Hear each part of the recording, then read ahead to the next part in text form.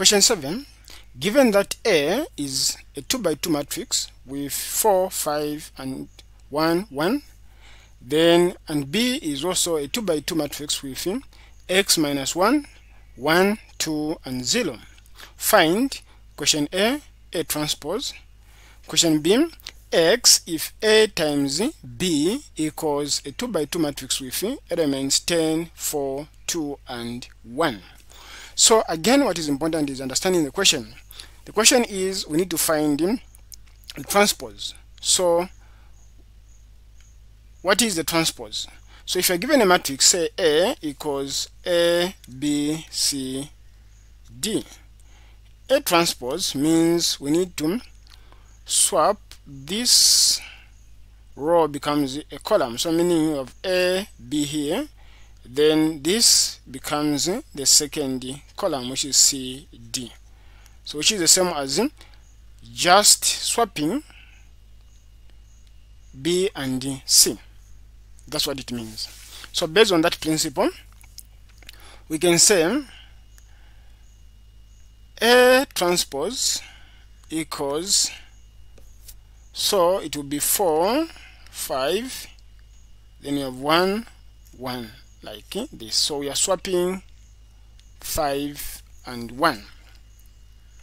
As simple as that. 4, 1, 5 1 then you get that one mark then we look at uh, b so b what it means we need to multiply a and b so I'll start using this space so what is m a is 4 5 1 1 we multiply it by b which is x minus 1 then 1 then 2 then 0 like that.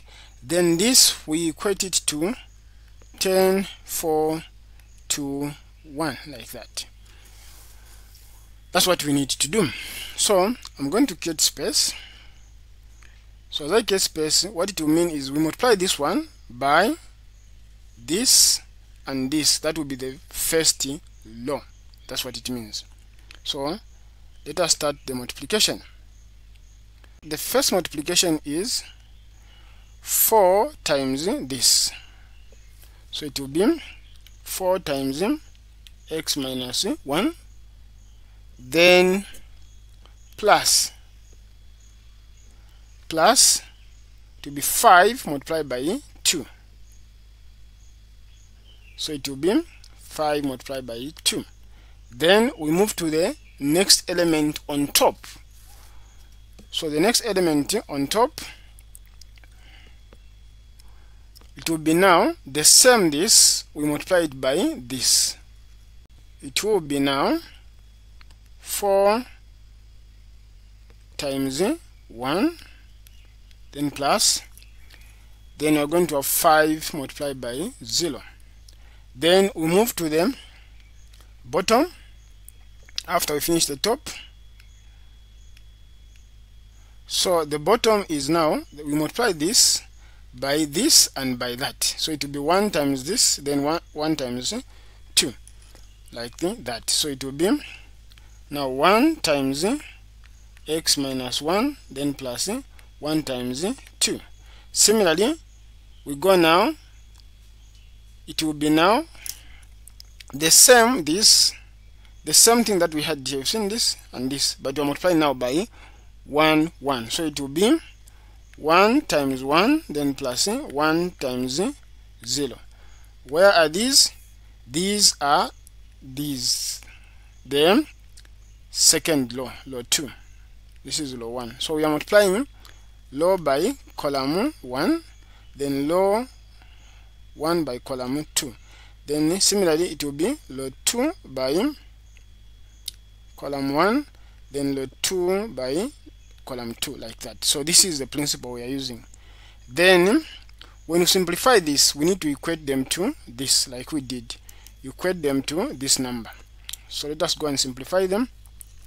We are going to have 4 times x is 4x 4 times negative 1 is negative 4 5 times 2 is a 10 then we are going to have hmm, 4 times 1 is a 4 then plus eh, 5 times 0 is 0 then we are going to have 1 times eh, x minus 1 is x minus 1 plus 1 times 2 is a 2 then 1 times 1 is a 1 plus 1 times 1 is a 0 this so simplify this.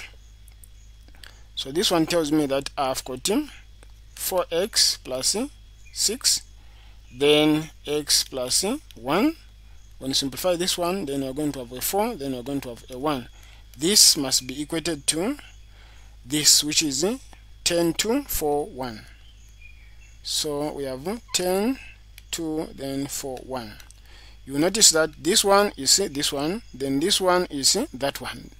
Then between these two and this one you can just pick one then equate it to uh, n of these so if you don't have enough time you just get this one. So it will be x plus 1 is equal to the pair is 2 so it will be x is equal to 2 minus 1 which is x is equal to 1 so the value of x is 1 like that. If you wanted to confirm you can get this one which will be now 4x plus 6 is equal to 10 so it will be 4x is equal to 10 minus 6 so 4x is equal to 4 we divide by 4 we divide by 4 so again x is equal to 1 so either just get one of those. So when you get one of these two you still get it. So what you are saying is x is equal to 1 once you do that you are good to go. You get the two marks. So this is how you answer this question. Please don't forget to download your stud companion in the description section of this video. You find a lot of practice questions that will help you to prepare for your exams effectively. Doesn't matter where you are, you can study while you're on the bus or at work. Please join me in the next episode as I look at question 8.